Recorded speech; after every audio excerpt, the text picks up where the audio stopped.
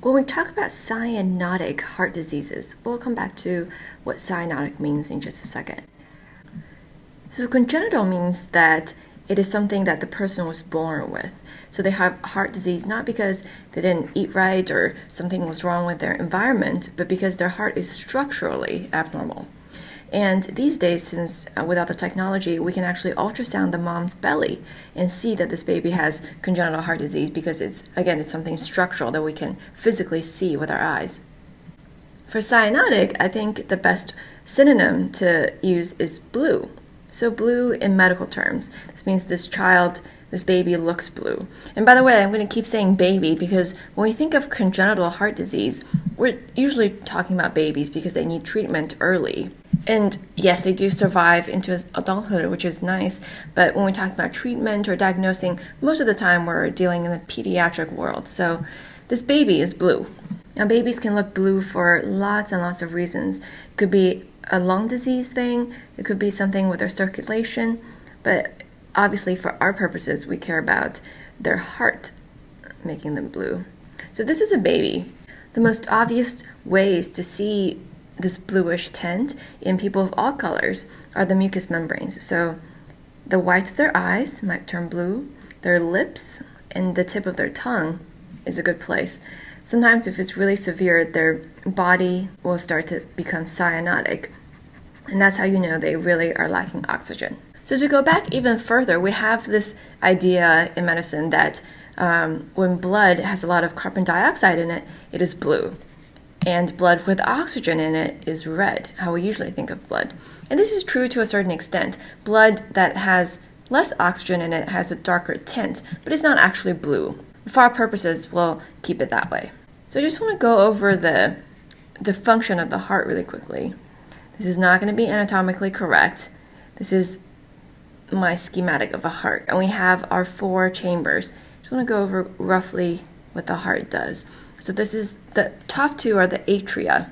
So this is the right atrium. Oh, the, the other thing is this is going to be right and this is going to be left. That's just how it's designated in medicine because when we look at an x ray or a film, it's usually flipped like this. So let's get used to the right side being on the left side.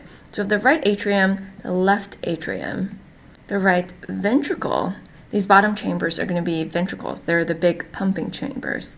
And the left ventricle. So blood from the body that's been uh, used up by the tissues, the oxygen's been used up, it's going to be a bluish blood. We think of it as deoxygenated blood, blood with a lot of carbon dioxide or CO2 in it. This gets returned to the right atrium first. From there, it goes to the right ventricle. There's going to be a valve here. Actually, there are going to be valves between each of the chambers and places, and those are some of the places that can be structurally abnormal in congenital heart disease, but we'll worry about that in just a second.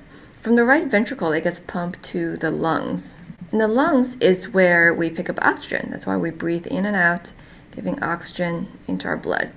So, blood coming out of the lungs then is going to be red because oxygen has been added to it. So, red blood returns to the left atrium. Have you noticed that the atria seem to receive blood from outside the heart? These are the receiving chambers. So it flows into the left ventricle. The left ventricle is the most powerful one because it has to pump blood really far to the rest of the body. So now we have this person that's red because they have more oxygen in their blood. And just for completeness sake, vessels that receive blood from the heart are called arteries. So we have red blood usually traveling in the arteries delivers it to the tissue. Oxygen leaves to go work in the tissues, and then once the oxygen is extracted, the blood goes into veins. And veins are vessels that return blood to the heart. So, usually in a healthy person, we want the oxygen content in arteries to be about above 90%. For a healthy person is actually usually around 98 to 99, but above 90% we can live with. We like that. So now the oxygen in the veins will obviously be less than 90%. We're probably happy with 70s, 80s. It depends on a lot of different factors. So you see that when we think of arteries and veins, we expect them to have different levels of oxygen. So, what is cyanosis then? I said before that this blueness comes from the blood not having enough oxygen, and here we're talking about arteries. Vein oxygen content, yeah, we care in some circumstances, but right now, for congenital heart disease, we care about artery saturation of oxygen. So, at what exact level we have cyanosis kind of is a little bit dependent on the person, but we know for sure that it is less than 90%. So, I'm going to say cyanosis starts to happen around 80 to 85% oxygen.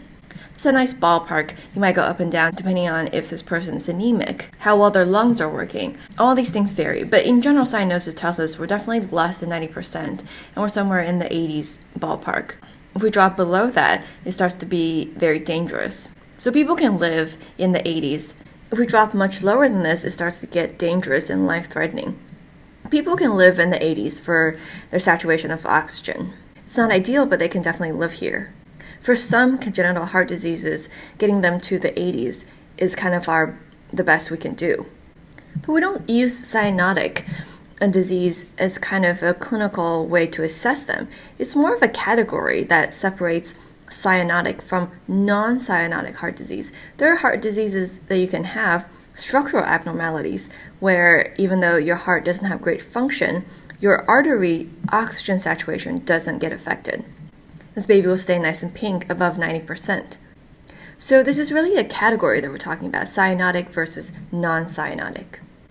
Without going into too much detail, if we just look at this rough diagram of the heart, cyanotic diseases, as a general rule, will involve some sort of mechanism for the blood to be mixing in a way that the right is shunting to the left.